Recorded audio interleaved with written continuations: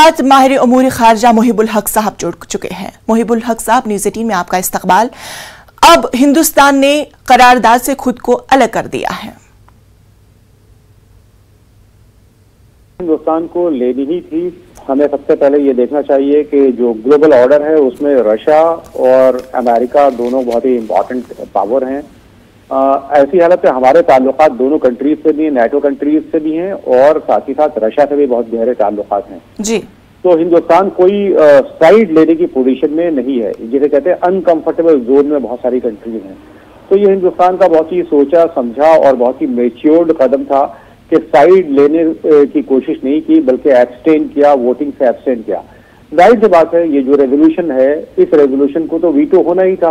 क्योंकि रशिया खुद इस मीटिंग को प्रिजाइड कर रहा था और रशिया के पास वीटो पावर है तो रशिया ने, वीटो करना ही था। जितने भी रेजोल्यूशन आएँगे यूएन सिक्योरिटी काउंसिल में रशिया के खिलाफ यूक्रेन से, वो सब रशिया खुद वीटो करेगा। हमें देखना ये कि चाइना तक ने वीटो, चाइना तक ने एब्सटेन किया है। और चाइना के एब्सटेन करने की सबसे बड़ी वजह यह है कि चाइना यूक्रेन का सबसे बड़ा ट्रेडिंग पार्टनर है। तो ज़ाहिर से पता जब चाइना एब्सटेन कर रहा है, जो रशियन ब्लॉक में समझा जाता है तो फिर हिंदुस्तान अगर एब्सटेन करता है तो कोई ऐसी बात नहीं है। बिल्कुल। फौज अब कुछ ही किलोमीटर दूरी पर है। क्या कुछ अंदाज़ा लगाया जा सकता है? देखिए ये ये तो होना था। एक जो इंटरनेशनल रिलेशन की सबसे अहम थ्योरी है वो रियलिस्ट थ्योरी कहलाती है। उसमें ये कहा जाता है कि हर कंट्री को क्राइसिस के वक्त में सेल्फ हेल्प यानी अपनी मिलिट्री प्रिपेयर्डनेस अपनी ताकत पे ही मुनसर करना पड़ता है। यूक्रेन की लीडरशिप की सबसे बड़ी प्रॉब्लम ये रही है कि उन्होंने सिचुएशन को नहीं समझा। उन्हें ये मालूम होना चाहिए था कि रशियन अगर अटैक होता है तो नेटो कंट्री वीटो के अलावा या जबानी खर्च अल्फाज के खजाने तो लुटाते रहेंगे मुख्तलिफ़ फोरम पे, लेकिन इफेक्टिवली कुछ नहीं करेंगे। तो जब आप अपनी कंट्री को डिफेंड करने की पोजीशन में नहीं थे तो एक जो मिलिट्री सुपर पावर है, उसके रैत को इनवाइट नहीं करना चाहिए था। वहीं दूसरी जानब नाटो ने साफ़ तौर पर यह भी वाजा किया कि ज़मीन के एक एक इंच की हिफाजत हम करेंगे।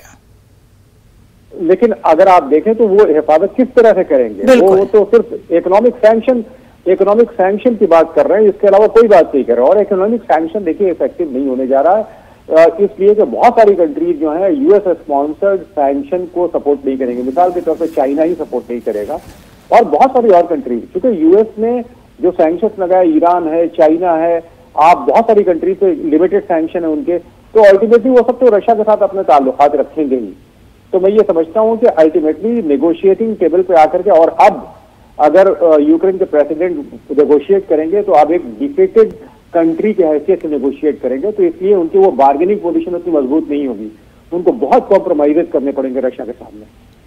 बिल्कुल, मोहिबुल साहब इस तरह के अभी हालात बने हुए हैं कि वहाँ पे जो लोग हैं, चाहे वो हिंदुस्तानी हैं या या वहाँ के मकामी हैं, काफ़ी ज़्यादा कशीदगी का वहाँ पे मुजाहरा हो रहा है। हर एक तरफ़ से बहुत ज़्यादा कशीदगी हो रही है। अब देखने वाली बात होगी कि आने वाले दिनों में क्या कुछ सामने आ जाएगा।